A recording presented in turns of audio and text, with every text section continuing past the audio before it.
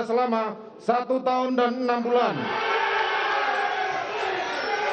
Menetapkan penangkapan dan lamanya masa penahanan yang telah dijalani terdakwa dikurangkan sepeluruhnya dari pidana yang dijatuhkan. Menetapkan terdakwa tetap berada dalam tahanan. Menetapkan terdakwa sebagai saksi pelaku yang bekerja sama atau justice kolaborator. Usai mendengar putusan hakim, tangis terdakwa perkara pembunuhan berencana Brigadir Yosua, Richard Eliezer Budihang Lumiu atau Al Barada Eliezer pecah. Hakim pun sepakat menjatuhkan vonis satu tahun enam bulan penjara dalam sidang pengadilan negeri Jakarta Selatan pada Rabu 15 Februari untuk Richard Eliezer.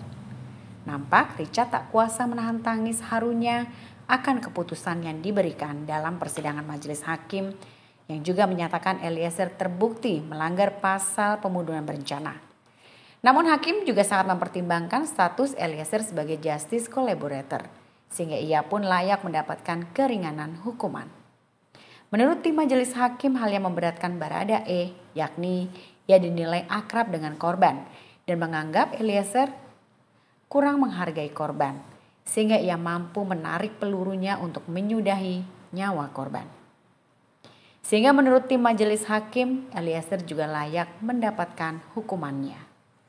Sementara itu, hal yang meringankan Barada Eliezer yakni bahwa ia dengan sangat telah menyesali perbuatannya, masih muda dan keluarga Yosua pun telah ikhlas memaafkan Eliezer. Selama satu tahun dan enam bulan menetapkan penangkapan dan lamanya masa penahanan yang telah dijalani terdakwa dikurangkan sepeluruhnya dari pidana yang dijatuhkan. Menetapkan terdakwa tetap berada dalam tahanan. Menetapkan terdakwa sebagai saksi pelaku yang bekerja sama atau justice kolaborator. Menyatakan barang bukti adalah sebagaimana dalam surat tuntutan jaksa penuntut umum. Membebankan terdakwa untuk membayar biaya perkara sebesar Rp5.000 Demikianlah diputuskan dalam rapat permusyawaratan Majelis Hakim Pengadilan Negeri Jakarta Selatan pada hari Jumat tanggal 10 Februari tahun 2022 oleh kami Wahyu Iman Santoso selaku Hakim Ketua, Morgan Simanjuntak Sarjana Hukum dan Alimin Suljono masing-masing sebagai Hakim Anggota. Putusan mana diucapkan dalam sidang terbuka untuk umum pada hari Kamis tanggal 15 Februari tahun 2022 oleh kami Hakim Ketua didampingi Hakim Anggota tersebut dan dibantu oleh Saudara Aprisno SHMH dan Okta Aprianto SHMH, panitra pengganti pada Pengadilan Negeri Jakarta Selatan, serta dihadiri oleh Rudi Imawan dan Sarjana Hukum Magister Hukum, Jaksa Penuntut Umum, terdakwa serta tim penasihat hukumnya. Silakan duduk.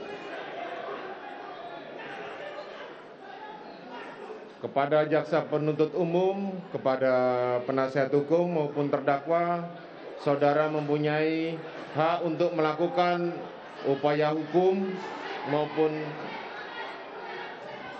upaya hukum berupa banding atau menerima putusan ini atau pikir-pikir.